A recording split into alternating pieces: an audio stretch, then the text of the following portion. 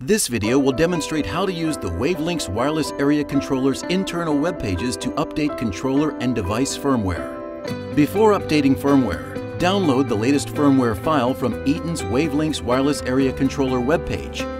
The link should be located in the Download section under Technical Information.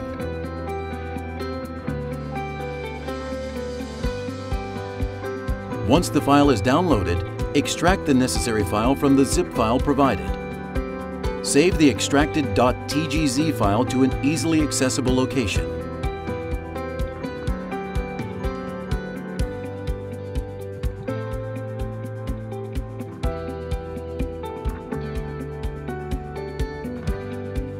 Next, establish a connection between the computer and the wireless area controller.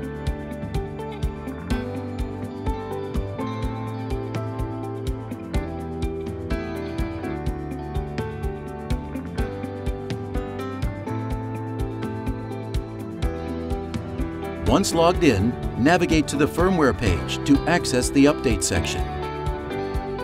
Select the Browse button and locate the previously saved .tgz firmware file on the computer. Next, select the Upload button to begin transferring the file. The file transfer may take several minutes.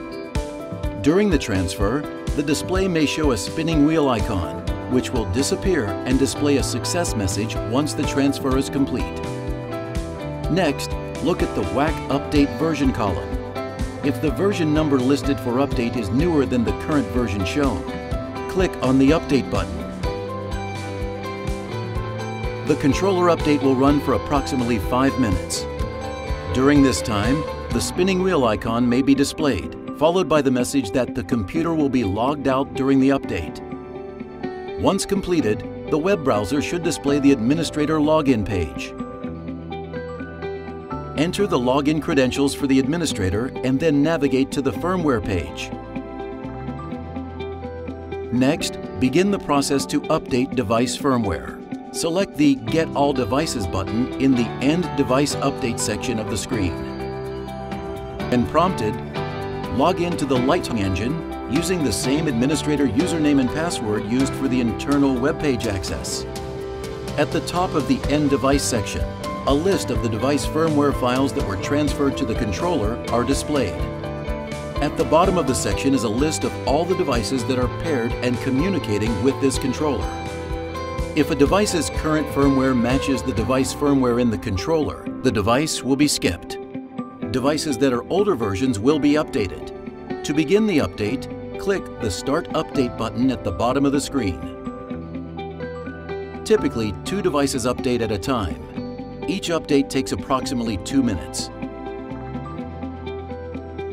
An indicator bar in the status column will show the device update process for devices that are actively updating.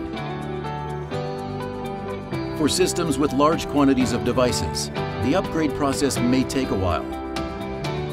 Once the update has started, it is not necessary to remain connected. Simply click on the Logout button and close the web page. The updates will continue to run until they are completed. Log back in at any time to view the status of the update. Once the Light Engine login is processed, if devices are still updating, the status indicator bar will be displayed in the device's status column. If the update has completed, the status column will be blank and the Start Update button will be active at the bottom of the page. The current firmware version column should match the available firmware version for all displayed devices. The firmware update is now complete. Select the Logout from Lighting Engine button at the bottom of the screen, and then log out and close the browser.